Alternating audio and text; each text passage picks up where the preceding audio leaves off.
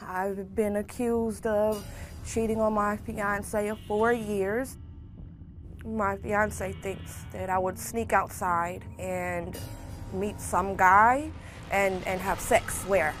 Inside the house, outside the house, in the doghouse, uh, in my son's room, the bathroom.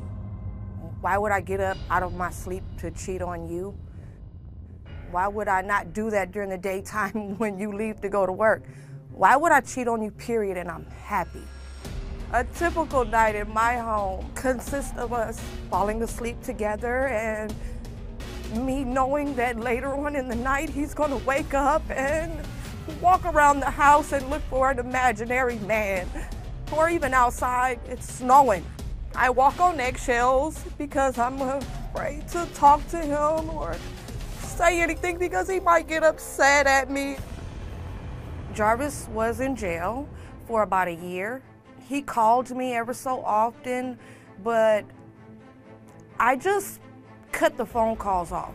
I met somebody, I fooled around, I realized I'd rather be alone. That person is not who I want to be with.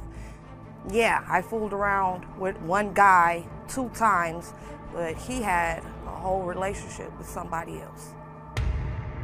Jarvis also thinks that I'm supposed to be faking these pregnancies. I did take a pregnancy test. I had a, a, false negative, then I took it again and I had a positive. Two and a half weeks later, I had a miscarriage that was really, really hard on me. I went and talked to a doctor and she told me it's because I'm stressed that I can't carry a child. And all I want to do is bless this man that I feel deserves his own family. He's a good guy. He's a really good guy. He's a good stepfather to my children. I just, I don't understand where this came from. It just changed. I have no idea what happened. I gave him no inkling of, of me cheating. I gave up my phone so that he wouldn't think that I was talking to somebody. The only reason I feel that Jarvis is cheating on me is because he's so adamant about me cheating on him. And all I do is sit at home and wait on him to come home from work. If Jarvis fails this test for cheating on me, I love him so much I probably would want to work it out.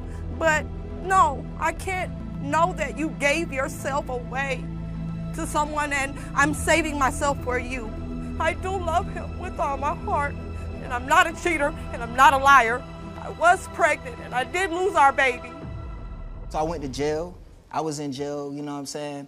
I called home at least twice a week, you know, checking on her, make sure everything was okay. She's telling me, you know, she was stressing, things like that. I was like, it's gonna be okay. When I come home, I'm gonna try to do better. You know, I'm gonna, I'm gonna be that man that you need in your life.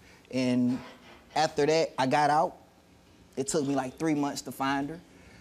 You know what I'm saying? I found her, and I didn't get the welcome home that I thought I was going to receive. It was, it was no, hey, I missed you or anything like that. It was, get out of my face, get out of my, get out of my life. You know what I'm saying? Is what I was hearing. So I left. I went and got, I met, a, I met someone. I got into a relationship.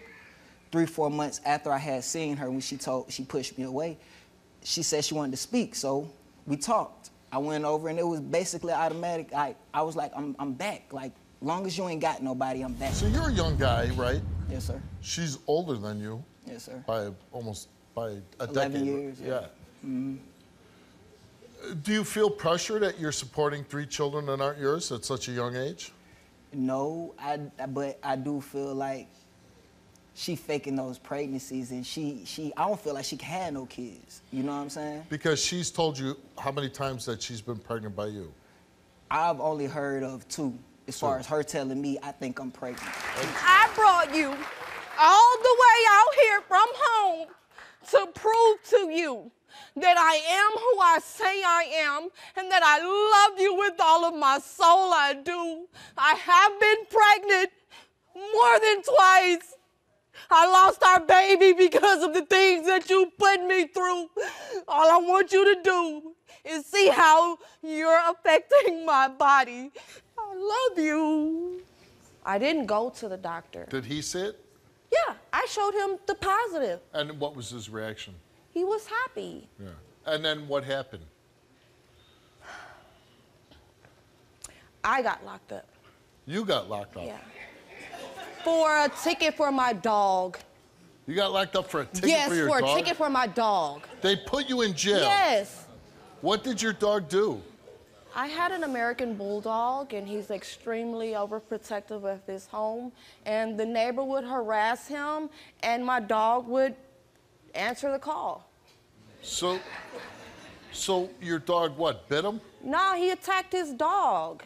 Like, Okay, I was a police officer for many years. Mm-hmm. I've never locked up anybody because of their dog. you don't live where we live.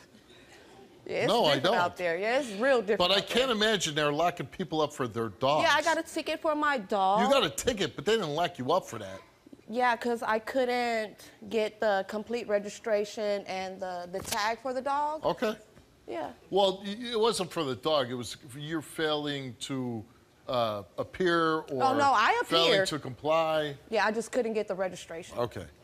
All right, we broke your uh, lie detector test down to two parts, one uh, regarding cheating and one whether you were pregnant or not. We're going to read the cheating first. Uh, Ryan, we asked you, since September 2016, have you had sexual physical contact with any other males besides Jarvis? You answered no. Since September of 2016, have you had sexual intercourse with any other males besides Jarvis? You answered no. The results came back the same to each question, and they came back that Ryan told the truth.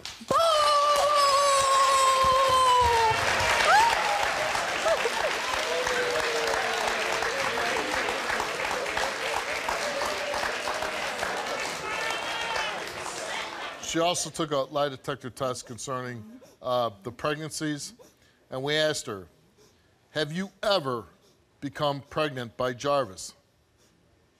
She answered yes. During the course of your relationship with Jarvis, have you ever miscarried? She said yes. The results came back the same to each question, and it came back that Ryan told the truth. Jarvis came in, he also took a lie detector test, and we asked him, since September of 2016, have you had any sexual physical contact with any other females besides Ryan? He answered no. Since September 2016, have you had sexual intercourse with any other females besides Ryan? He answered no.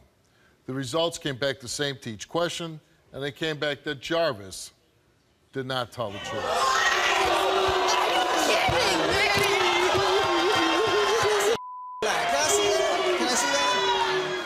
You're a young guy, and I think a lot of times when we run into these relationships, when a young guy as yourself, 25 years old, dating a woman that's much older, mm-hmm. these things tend to happen. But it hasn't though, so I'm not understanding. Well, but that. you know what?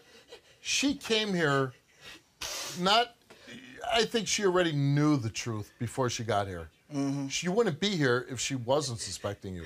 She obviously felt that you were doing something. Mm-hmm. Um,